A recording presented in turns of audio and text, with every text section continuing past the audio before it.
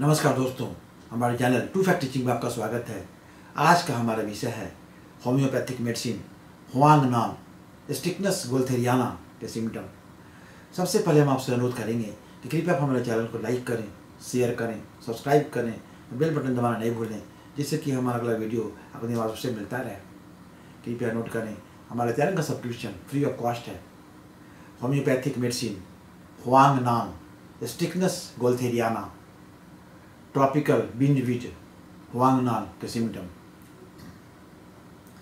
Huang नाम स्टिकनेस गोल्थेरियाना औषधि का निम्नलिखित लक्षणों के रोगियों को रोग को ठीक करने में काफ़ी उपयोगी है जैसे थकान के साथ चक्कर आना थकान के साथ चक्कर आना हाथ पैरों में शून्यपन और सुरसुराहट होना हाथ पैरों में शून्यपन और सुरसुराहट होना तथा उसके साथ निचले जबरे की गति अनियमित ढंग से होना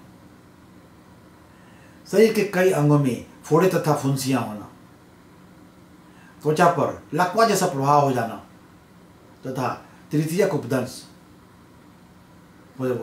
टर्शियरी, सिफिलिस।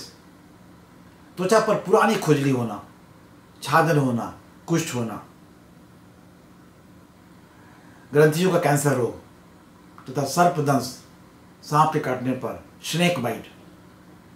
कैंसर जैसे रोग को ठीक करने के लिए हुआंग नाम। स्टिकनेस गोल्थेरियन औषधि का उपयोग अधिक लाभदायक है।